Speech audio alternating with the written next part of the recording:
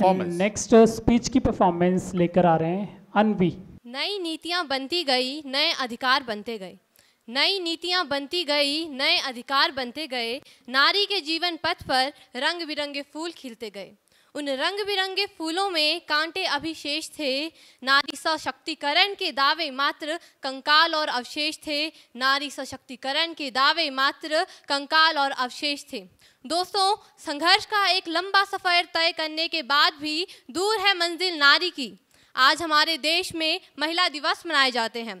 प्रण लिए जाते हैं, वायदे किए जाते हैं, महिलाओं के विकास के, महिला आरक्षण के। परंतु मैं पूछना चाहती हूँ कि क्या मात्र 33 प्रतिशत आरक्षण देकर महिला सशक्तिकरण संभव है? जी नहीं, हरगिज नहीं। आज नारी धरती की गहराइयों से आकाश की ऊंचाइयों तक पहुँच चुकी है। परंतु विडंबना देखिए कि धरती की सीमाओं को लांग कर आकाश की बुलंदियों को छू लेने वाली कल्पना चावला के इस देश में आज नारी घर की दहलीज को लांगने में झिझकती है, डरती है। आज नारी को डर लगता है, घात लगाए बैठे रावण और दुशासन से।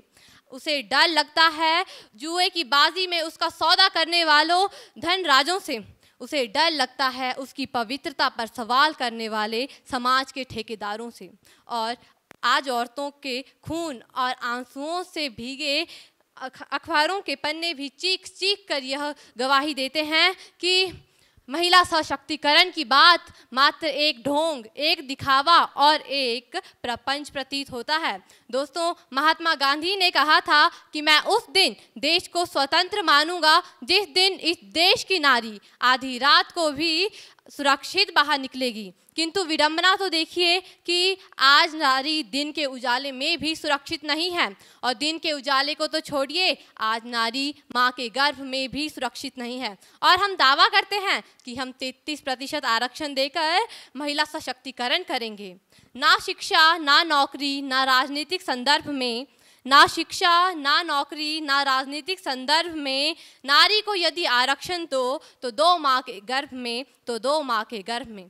और जो लोग 33 प्रतिशत आरक्षण देकर महिला सशक्तिकरण की बात करते हैं, मैं उन्हें ये बताना चाहती हूँ कि आरक्षण से पहले आज इस देश की नारी माँ की गर्भ से जन्म लेने का अधिकार मांगती है, इज़्ज़त और सम्मान के साथ जीने का हक मांगती है। आज इस देश की नारी अपने सपनों को हकीकत में बदलने का एक मौका मांगती है। और जिस दिन ये हो गया, उस दिन उसे किसी आरक्षण की ज़रूरत नहीं पड़ेगी, क्योंकि हमारी देश की नारियों में इतनी काबिलियत, इतनी क्षमता और योग्यता है कि उन्हें किसी आरक्षण रूपी सहारे की ज़रूरत नहीं। परिंदों को तालीम नहीं दी जाती उड़ानों की, परिंदों को तालीम नहीं दी जाती उड़ानों की, वो खुद ही छू लेते हैं ऊंचाइयाँ आसमानों की, वो खुद ही छू लेते हैं ऊंचाइयाँ आसमानों की। और जिस दिन हमारे देश की नारी अपनी शक्ति को पहचान कर एकजुट होकर चल पड़ेगी, उस दिन उनकी शक्ति को रोक पाना मुश्किल ही नहीं, नामुमकिन हो जाएगा, नामुमकिन हो जाएगा। आज नारी को कोई द्रौपदी बनकर किसी कृष्ण को अपनी रक्षा के लिए नहीं पुकारना, बल्कि स्वयं दुर्गा का रूप धारण करके अपने शत्रुओं का नाश करना है। तो इसलिए अगर महिला सशक्तिकरण होगा तो 33 प्रतिशत आरक्षण के द्वारा नहीं, बल्कि इस देश की महिलाओं के द्वारा। और आज इस देश की महिलाएँ हर आरक्षण देने वाले से यह कह रही है कि सीढ़ियों की ज़रूरत उन्हें है जो छत पर जाना चाहते हैं। सीढ़ियों की ज़रूरत है जो छत पर जाना चाहते हैं। हमारी मंजिल तो आसमां है रास्ता हमें खुद बनाना है। हमारी मंजिल तो आसमां है रास्ता हमें खुद बनाना है रास्ता हमें खुद बनाना है। जय हिंद वंदे मातरम। इसमें के के इसमें के के एच इसमें के के डी केकेएचडी है क्या? अरे आपको नहीं पता किसमें कितना है दम? दुनिया के सामने अपना टैलेंट लाने के लिए सबसे अच्छा टैलेंट जो है इनका नंबर क्या nine zero four one seven double three seven double three.